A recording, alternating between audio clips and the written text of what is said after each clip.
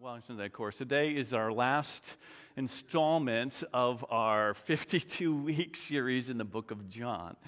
And on Easter, which I'm looking forward to, of course, next week, we're gonna, I'm going to try to just wrap up the entire book with one message, all right? It's taken me a year to get through the whole thing, and now I'm going to try to do one message to wrap it up. And so that's going to be our focus next week, and we're going to have baptism next week. It's going to be a powerful, yeah, you can clap for that. Yeah, that's great. It'll be a, I, I trust it'll be a powerful service next week, and of course, the Easter breakfast and all that. And so I just want to let us know where I am going or where we are going next. Whether you like it or not, you're going to come with me, okay? Um, so for eight weeks, we're going to go to the Old Testament. And by the way, it is intentional that I'll do New Testament and then we'll do Old Testament might do biographical, we might do a little topical, we'll look at different things. It's good for us to have a, a well balanced spiritual diet. I'll just put it that way. And so, a lot of you perhaps are familiar with the New Testament, and I'm sure as all of you are reading through your Bible, let's go, let's go, let's go, okay, you'll come across things. So, we're going to go through the book of Habakkuk. And you'd be like, Habakkuk, what? Yeah, okay. Habakkuk. You say, What is this? Well, here's the good news you have two weeks to go and read all three chapters, okay? It is three chapters. And it deals with some significant issues. The subtext or the title is going to be How Long, O Lord? He opens his lament, his questioning, as he looks around and sees all types of horrendous things happening, and he's crying out to God. And so we're going to go through that book. And my hope is that you will, number one, get language to, to voice your long term prayers about perhaps a long term sickness that you've been praying for for decades and decades, or someone that you love who hasn't turned to Christ, or a prodigal. These things that we carry in our heart and we continue to cry out to God and we're still waiting for a response, or we're looking to how to continue in faith in the midst of pain or hardship or suffering or difficulty. By the way, the book of Psalms, which is 150 Psalms, is incredible. It is a prayer book, it is a song book. And if you read them, by the way, over half of those Psalms are called lament psalms. It is the psalmist, be it David or someone else, as they are walking in faith, often they start praising God and looking towards Him. And then there's this language of, God, it's really tough right now. God, will you help me? Will you deliver me? God, I'm looking around and it's difficult. God, will you intervene? Will you help? Will you hurry to my rescue. And then the psalmist returns again. I am focusing again on you. The Psalms help us with this language. And Habakkuk helps us to work through difficulties that we just continue in. So, again, the hope is for these eight weeks with this focus that God would speak to us. And we're looking for some testimonies of people who say, Yeah, that's me. I have been praying for X amount of years. And yeah, that's me, where I continue to cry out to the Lord. And my hope is, and I imagine the Lord will do this among us, that we strengthen our faith, give us courage, give us focus, give us understanding, give us language that we can cry out, How long, O Lord? So that is our next series. And by the way, here's a super heads up, a very early bird. In the summer, then we're going to shift to a epistle. We're going to go to the book of Philippians. Probably is the most quoted book of the Bible. There's lots of really good quotable things in there. And we're going to work through that over this summer as we look to so many things that Paul helps us with when it comes to our faith as we look to it as Scripture. So that's where we're going, upcoming, and now you know. Okay? So, again, I feel like I'm saying goodbye to a, a good friend today as we're going to conclude again the book of John. It has been a remarkable time to, again, look for and see Jesus in all his glory. If you have been with us over this past year or so, my hope is that you treasure Him more, you honor Him greater, that you fall deeper in love with Him, that your faith has been and continue to be equipped and strengthened and encouraged, knowing that what we believe is based on things that happened with a person named Jesus Christ. My hope is that you have grabbed on to the promises, and again, you've seen him in greater glory. Last week, and as we are in this final chapter, chapter 21, if you have a Bible, go ahead, open to it. Chapter 21, we're going to start in verse 17. We're right in the middle of this epilogue, this uh, final uh, post credit scene, so to speak, where Jesus is primarily interacting with Peter and is restoring the guys. And then today we'll see him commissioning not just Peter, but all of us. And it's a fantastic ending where Jesus says, follow me. And he says again, You must follow me. And we're going to look at this. Now, last week I gave an invitation for those who say, hey, this message, of course, last week of the restoration of Peter was for all of us. And it was specifically for some people that said, this is me. And I gave an invitation to prayer. and A number of people came up. Will you pray? And will you pray? There's one guy in particular that if the message wasn't for anybody, it was for him. And he shared to me, uh, shared with me part of his story. And I've known Don for a long time. Come on up, Don. And I said, Don, will you share with us uh, a portion of your story and what perhaps happened um, last week? And so, why don't we give a Welcome to Mr. Don Reed. and keep, keep it close up. Okay. Okay. Yeah, thanks a lot. So last Sunday, um, I heard a message, 2117 out of John. It's just unbelievable because what God's doing in my life is, is crazy. So when he talked about feed my sheep, I'm from Myrtle Beach. I'm up here just visiting with my sister. And so I walk the beach a lot. And I'm walking the beach one day, and uh, my head's up in the clouds, and I kind of looked out on the, the ocean and uh, I saw a guy. There's not many people walking, but I saw a guy up there six, seven hundred yards up, and I wasn't paying any attention. And I saw him bend down. Lots of people do that at the beach. They're always picking up uh, shells and all that. So I paid no attention. So as I'm shuffling along, looking up, and, and talking to God and saying, Thanks, I can't believe what you're doing. How, how I ended up in Myrtle Beach is a miracle, a story to itself. But I was pretty convinced that God could not use me. I'm I've blown it. Uh, had myself convinced I'm a loser. Abandoned this, abandoned that. I've been to prison. I mean, there's no way that God could possibly use me.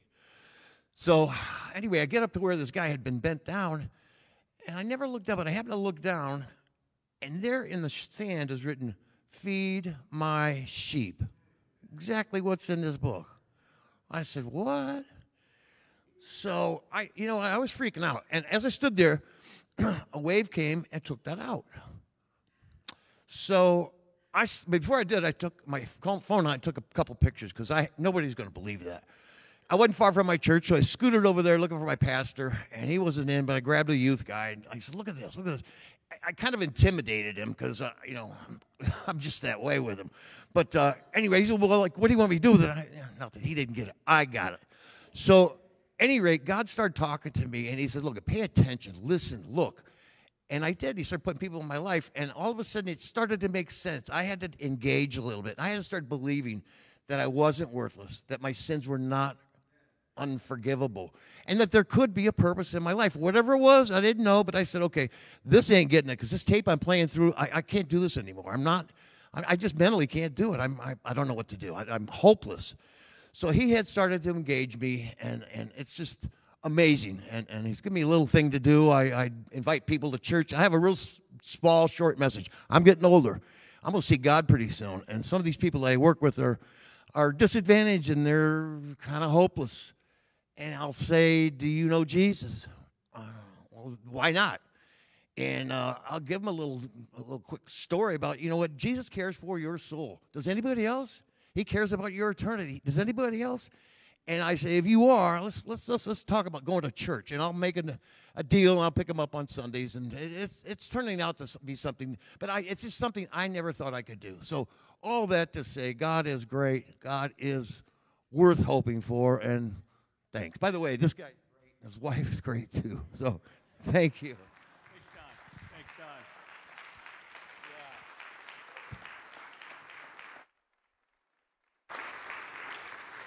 I think I uh, met Don probably 10 or so years ago as uh, he was here dealing with some of, some of the, the demons in his life, I'll just put it that way, and became friends. He participated in the church. God called him away, and he's back here to minister to his sister and family. And, you know, it's like, man, he told that story, and then to have that, I said, Don, you're probably here. He's just been here for a few months, and he'll go back at some point.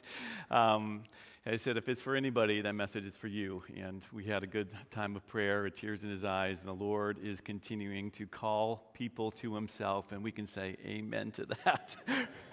Aren't you grateful for a merciful Savior? Aren't you grateful for a gracious God? Aren't you grateful for the invitation we have to walk alongside him? And so, again, this morning we are looking at the last bit of this Gospel of John.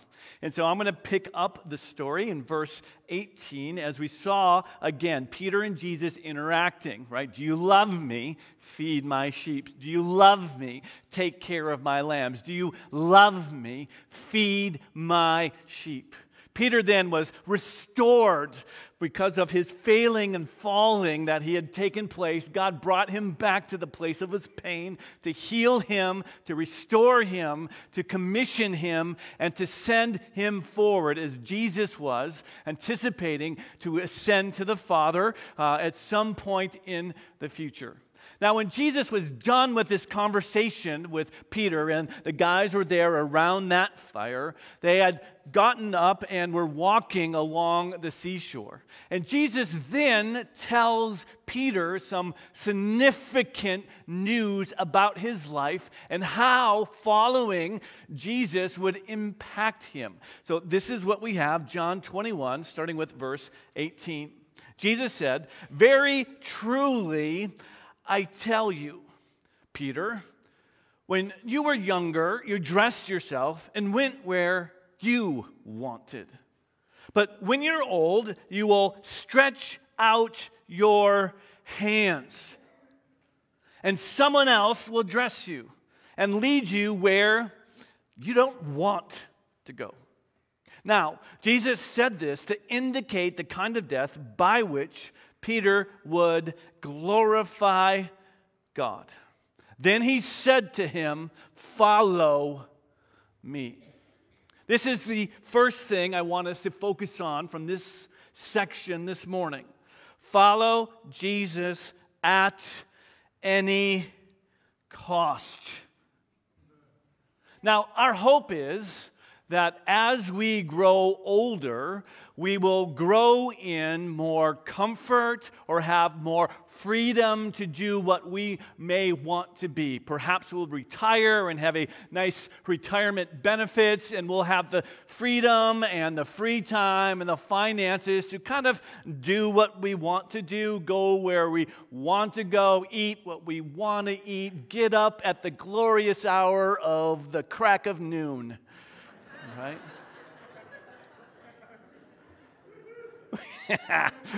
we kind of think that way a little bit, right?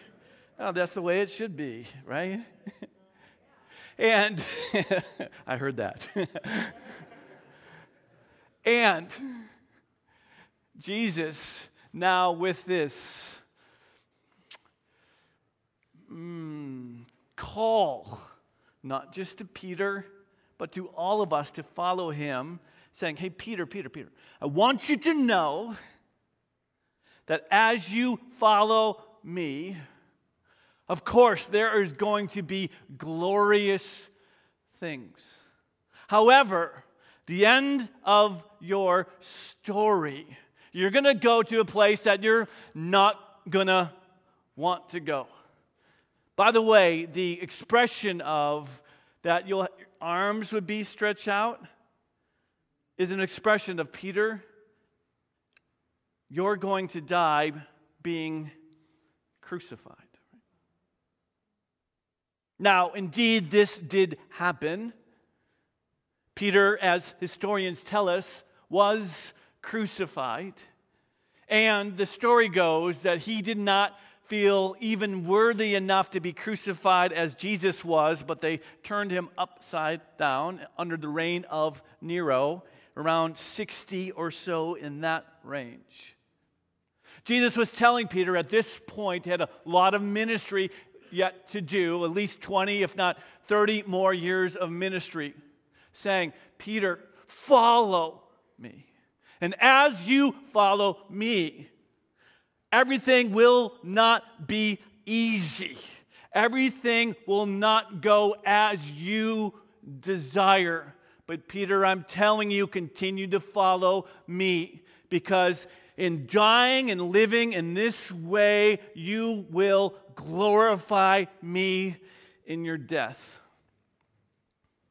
It is a downright travesty that this statement, this concept that in following Jesus you will face hardship, flies in the face of often modern Western philosophy and theology, right?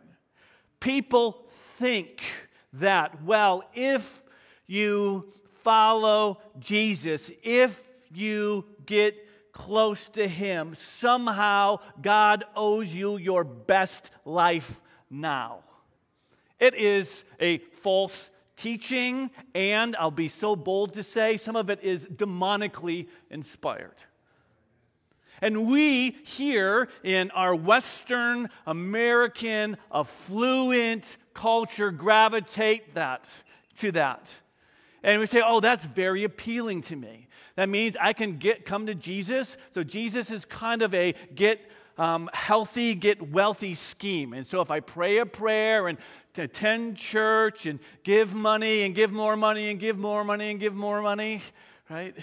That everything will go well with me because God owes it to me. This quote unquote gospel gets exported from primarily America to other countries in the world. Thank you, Jim Black. Africa, I've been there.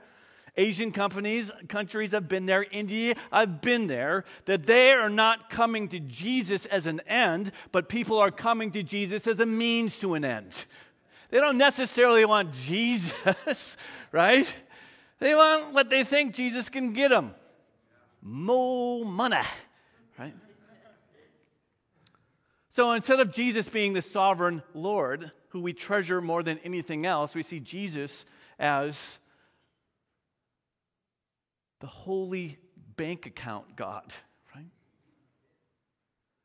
That he now has to do what I want him to do.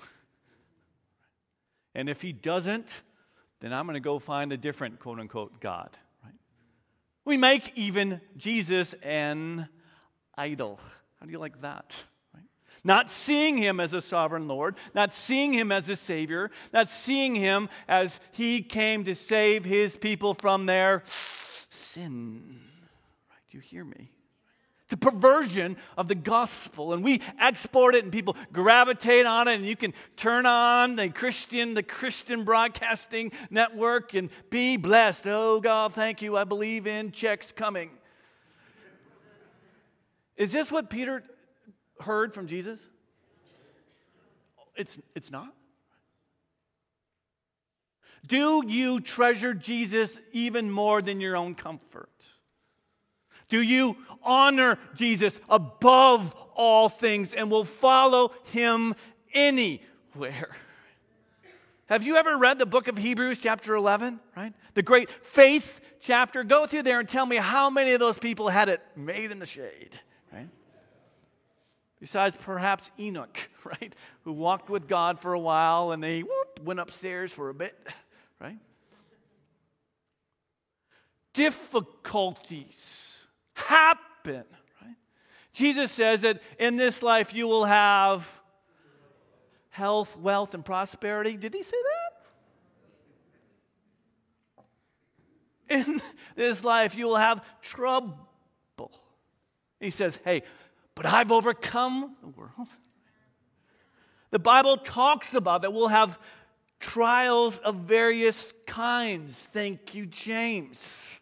That indeed there will be hardships and there will be persecutions and there'll be calamities. And Jesus said that people will hate you. Not because you're a horrible person, but because you love Jesus. You understand? This is in the Bible. Right? Just because you believe in Jesus does not exempt you from difficulty. And the truth is that at times it is because you have faith in Jesus, because of your faith in Jesus, that will bring on some difficulties and hardships and sufferings. I have tons of scripture passages in here to back this up so you know I'm not lying to you. we have redefined how God defines what being blessed is. Do you remember the Sermon on the Mount? Do you remember the Beatitudes? Blessed is the pure in heart, for they will, they will see God. Blessed are those of you who hunger and, and thirst for righteousness, for you will be filled. Blessed are the meek, blessed are the poor in spirit, and blessed are those who are persecuted for righteousness' sake, for theirs is the kingdom of heaven. Blessed are you when others revile you and persecute you and utter all kinds of evil against you falsely on my account. Rejoice and what? Be glad. For why? Your reward is great in heaven, for so they have persecuted the prophets who were before you. This, by the way, is true blessing. This, by the way, is true reward. This, by the way, the, the um, inheritance that you and I are to receive, those who love Christ, are kept in heaven for us. Right? We are promised this abundant inheritance, and we are promised that God will be with us, and we're promised that God will help us and strengthen us and encourage us, and we're promised that the, the Spirit will help us to persevere and endure. Do you understand this promise? So I don't want you to be surprised that if you're a Christian, if you've been a Christian for a long time, you know exactly what I'm talking about, right? But if you somehow believed that Christianity is a get rich scheme, you've been sold a bag of goods, right? You indeed will have a glorious inheritance of the saints. That day is coming, but now we follow Jesus to all places, no matter what the cost, because we love him, right? It breaks my heart to hear stories of people who have, quote unquote, fallen away from the faith because Jesus didn't do for them what they thought Jesus should do for them, and they got mad. They haven't even come to the true gospel to know what Jesus is and what he truly offers us. What he promises us is eternal life. What he promises us is the Holy Spirit to make us new. What He promises us is to prepare a place for us. What He promises us that it will be worth it in the end and throughout. This is faith that lasts. And hey, Peter, in following me, you will proclaim me. Peter stood up on the day of Pentecost. This great denier stood up in front of thousands and proclaimed this Christ, this risen Lord, the one who they said Hosanna, and the one they said crucify, rose from the dead, and he proclaimed the message. Peter was strong in the faith. And by the way, Peter wasn't always, always strong. Peter had a little issue. If you notice that Jesus was addressing it, his issue was being afraid of people. You think, Peter, what? This bold, quick to action dude? Yeah. Well, I don't know about I don't want you to treat me poorly. I don't want you to think you, uh, that I'm associated with Jesus. I'm kind of scared of your opinion of me, Peter, right? This, by the way, resurfaces another time book of galatians i think it's chapter 2 chapter 3 talks about peter and paul and they had a little confrontation because peter was you know hey i can eat with anybody and it's okay. And then some jewish people came it's like oh they might not like me so i'm just going to hang out with the jewish peter the jewish people. And paul was like peter what are you doing? Right? Why do i bring this up? I bring this up is our love of God sustains us and helps us, but doesn't necessarily always take away our pain places and some of our internal sin issues, right? Wouldn't that be great if you became a Christian, you never sinned again? Ah. I hope that's the number one thing you long for after seeing Jesus when you get to heaven, that the sin nature will be no more. We fight these things, we grow in these things, we renew our minds in these things. We choose to either follow the Spirit or follow the flesh, but we follow Jesus regardless of hell or high water. We're following him because he is worth it. Who else can we turn to? Right? Who else is like him? Who else gave his life for me? Who else can forgive me? Who else? Has the words of life. Be like Joshua in his final speech. He said, Hey, hey, hey, as for me and my house, we are serving the Lord. Right? I desire, and God desires, that our faith will stand regardless of the circumstances, regardless if our family is for us or against us, regardless if our occupational place is for Jesus or against Jesus, regardless if we have pain or suffering or sorrow, we will follow Jesus at all costs. Peter, follow me. I know what's going to happen. You follow me. I know what's going to happen. It's going to be okay. This is the message, right? This is the message. Peter, your death is the way that will glorify me the most. I want us in our decision making. Right now, we have decisions to make from the mundane things of what to eat for lunch to bigger questions of where to serve or who to marry or what job to take or whatever. We all have decisions. In your decision making process, I want you to put in as a high point, I want you to ask yourself this question What decision is going to best glorify God? Do you think that way when you're making decisions? Of course you do. We're like, oh, of course I do. what we usually think is, mm, what's going to be easier? What am I going to like the most?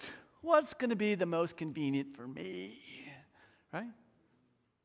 no, those are factors, but they should not be the factor. How would your and my decisions be affected if our number one decision making criterion is what will glorify God the most. That's the right decision. Now we have to discern that, right? You think Jim Black loved traveling coach for 24 hours? Jim Black could be sitting back, Jack. See what I did? I just rhymed there, right? You think that's fun? I've been on trips with him. Jim's fun. The airplane is not.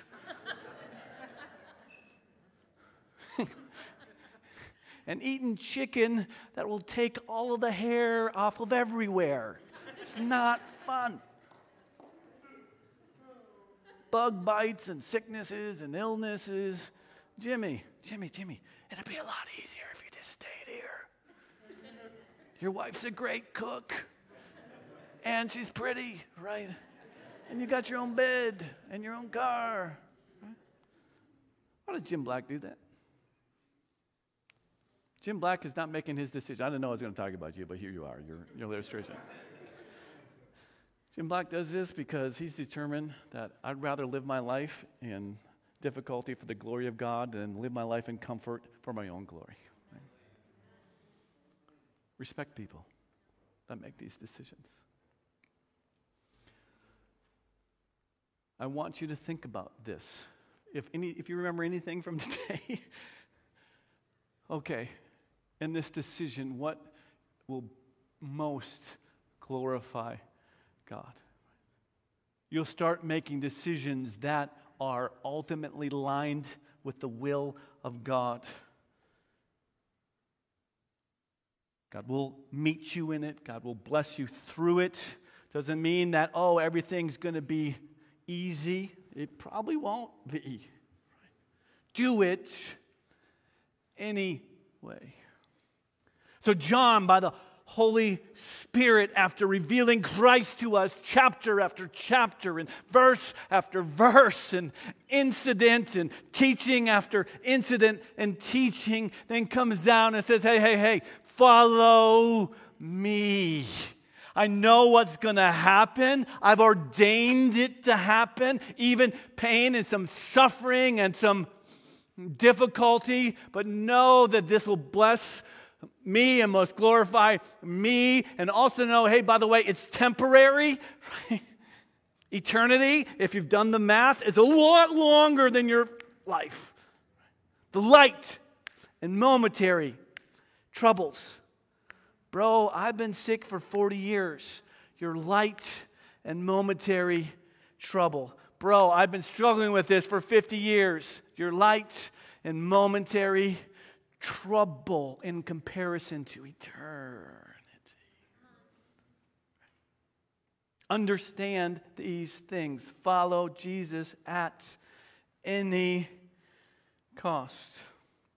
So Peter heard this message from Jesus after he was restored. Okay, Peter, now let's get to work. Let's get busy. This what's going to happen. Hey, follow me. Now, Peter, at this point, right, heard about what's going to happen to his life. It's like, hmm. And he kind of looked around. He says, hmm, well, what about him, Jesus? What's going to happen to him, right? Well, let's read this interaction, verse 20 in John 21. So Peter turned and saw that the disciple whom Jesus loved was following them. This, by the way, was John. This was the one who had leaned back against Jesus at the supper and had said, Lord, who is going to betray him? This is John. Now, when Peter saw him, he asked, Hey, Lord, what about him? now, Jesus answered, Peter, if I want him to remain alive until I return, what is that to you? Ooh. Peter, stop looking around. Look at me, Peter. You must follow me.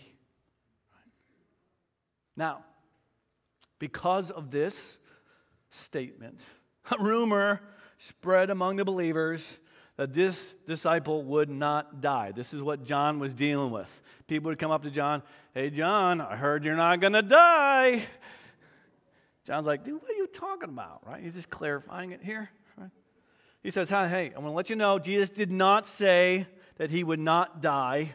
He only said, If I want him to remain alive until I return, what is that to you? Okay. So, what's the takeaway for us This is what I'm asking us to focus on. Follow Jesus how? Focused on Him. Focused on Him.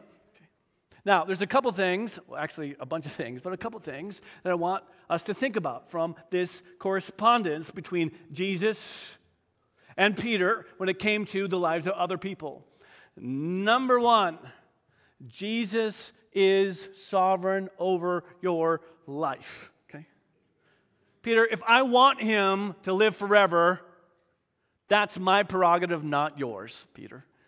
I can do with your life as I see fit, and I can do with his life as I see fit. I tailor a plan for every life, including every person in this room right now. God has a plan for your life. You can trust him and rest in it.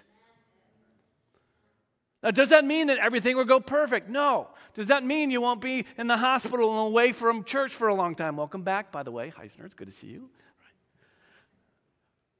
He has a plan for you. So, number one, God is sovereign over our lives, right? And second, by the way, Jesus says, hey, until I return, if I want him to remain alive, until I return. Right? This is another promise of Christ, by the way, the one who keeps his promises. You say, Amen to that, right? I want, if you can, put on the treasure chest of your heart the reality and the promise that Jesus is going to return again, right? This isn't some, you know, fanciful preaching point to get people to stay and follow Jesus. This is what Jesus said multiple times over and over again. I'm coming again. I'm coming back soon. I'm going to be here again. This is going to happen. Let that resonate with your soul, right? There is an eternity. You have never met a mere mortal.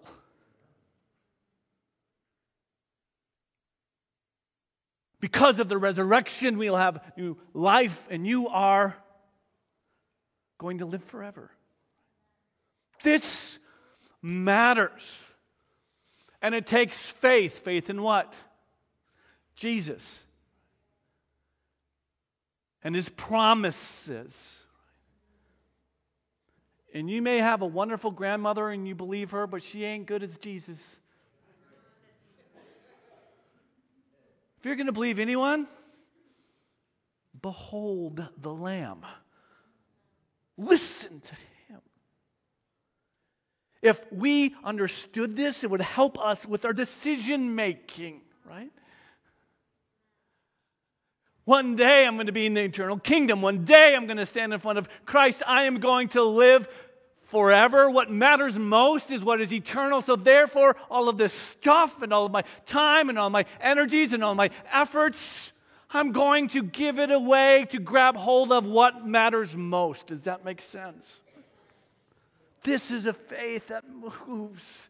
And I'm not talking a blind faith.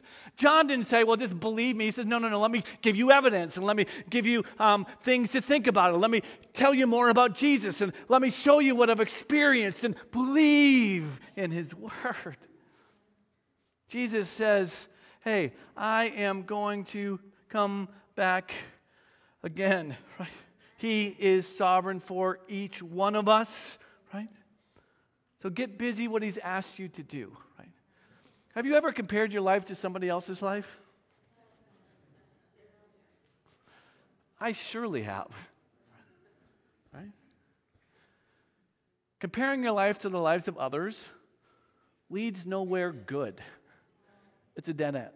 What will happen is that if you see people that have it worse than you, right? It leads to pride. Yep, they got that because they suck and I'm better than them. You probably don't use that word. I'm sorry. Some of you might be like, don't use that word. They're horrible, okay? Right? It's like, well, I'm better than them because I'm smarter, better looking, and I have whiter teeth, right? Or whatever it is. Right? What it leads is to um, pride, often, right? I'm better.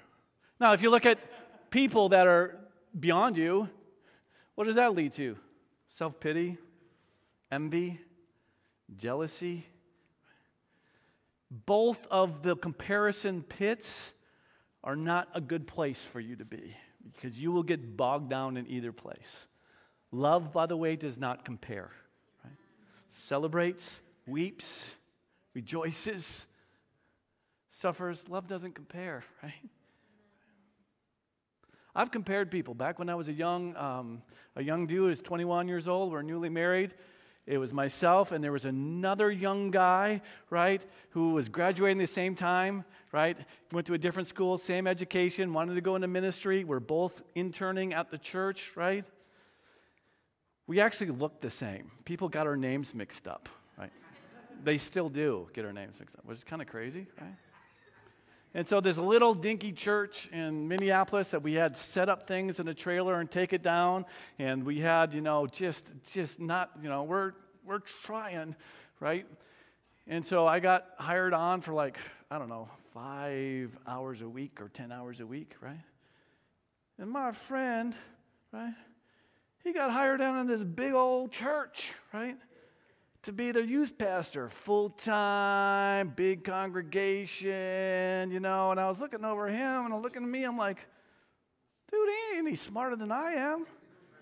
I'm definitely better looking. I didn't say that. It's Like, what? We had like really silly, it's like my twin. I'm like? And I was complaining. I'm like, man, I am struggling, right? I'm working three or four jobs. I got a wonderful wife, a child on the way, and that would have been really great. Why God him? Right? Why not me? Right? The Lord, by the way, in his kindness, he rebuked me. hey, Dave, what is that to you, what I do with his life? His calling and his path is different than your calling and your path. Follow me. I'm grateful for that struggle. I'm grateful for setting up church in a trailer. By the way, it comes in later in my story. I'm grateful for have to just grind and to learn. It, it made me who I am to do what I can do now. And today will help us, and your story will help the rest of your story. You understand, but comparison doesn't help. I've been jealous of people, and I've learned, Dave, that does not lead anywhere good in your soul, doesn't help.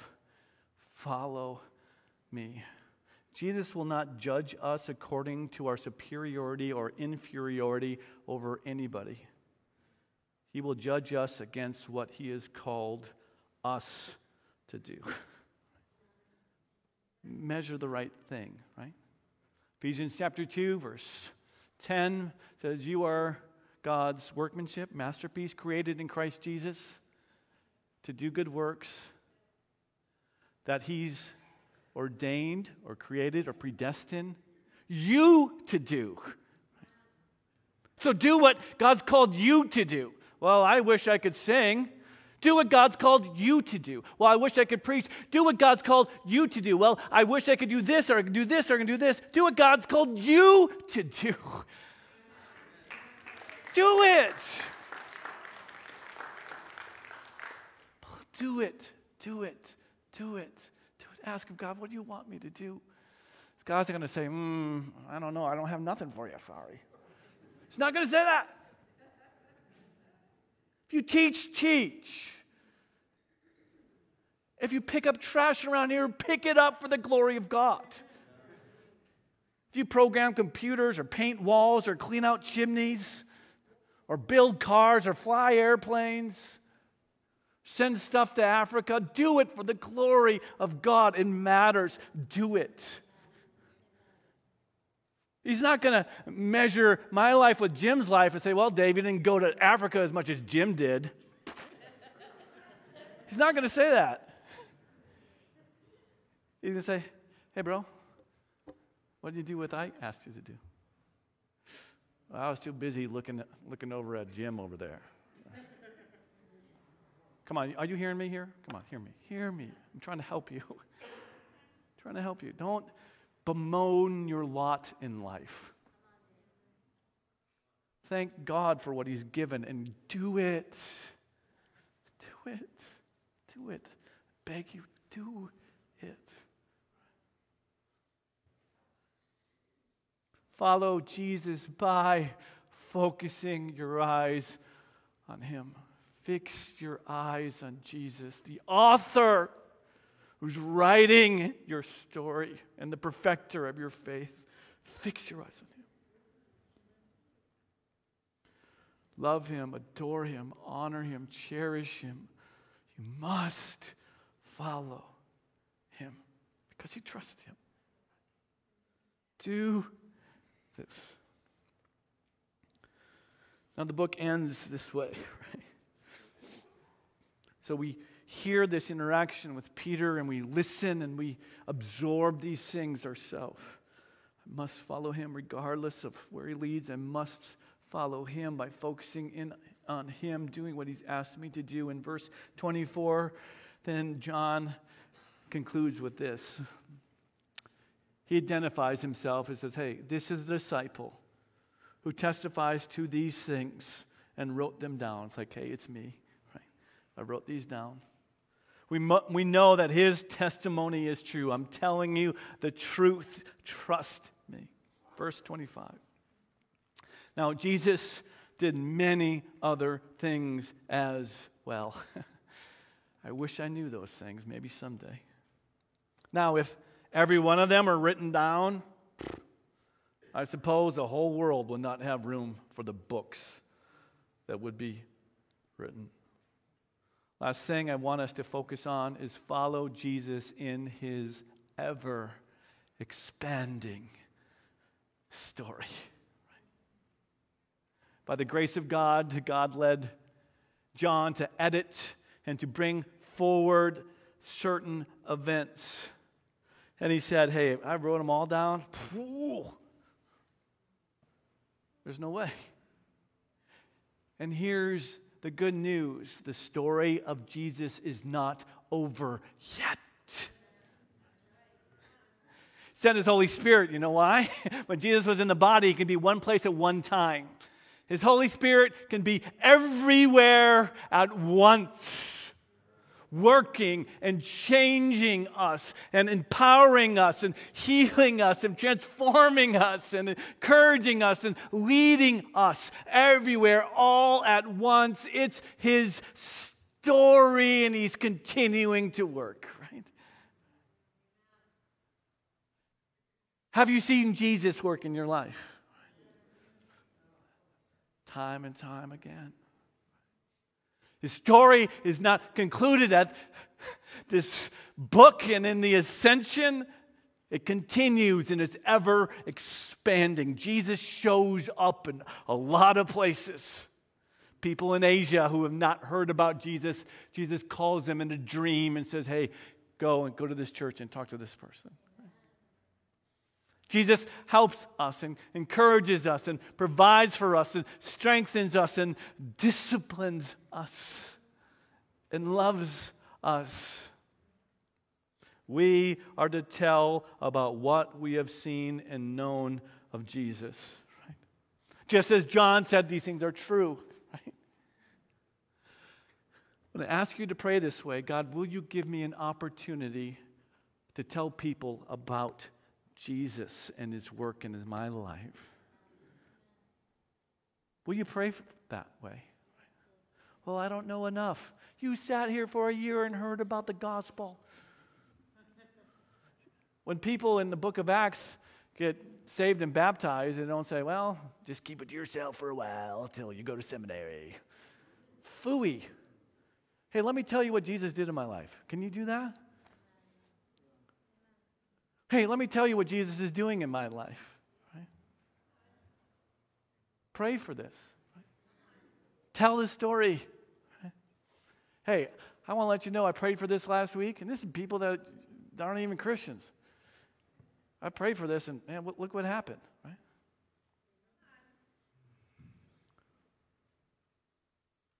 I am praying for this, and I'm still waiting to hear. I'm praying for this, but Jesus didn't completely heal me and it's getting worse, but I still trust in him. Do you hear me? Habakkuk. Right? Share the story. See the story. See Christ. The Word became flesh and made his dwelling among us.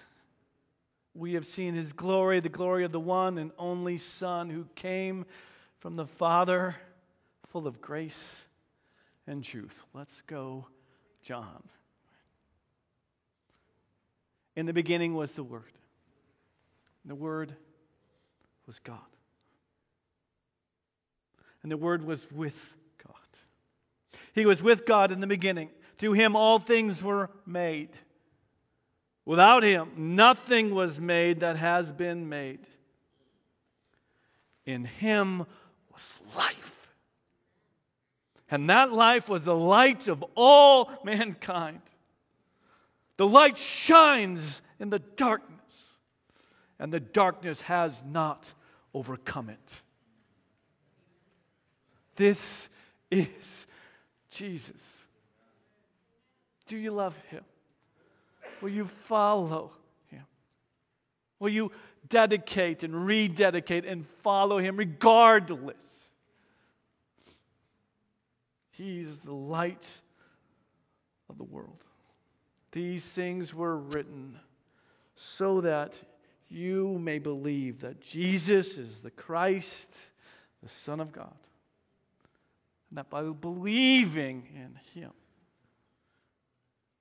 you may have life in his name. The name above all names. This is Jesus. Jesus, thank you for moving among us in this place.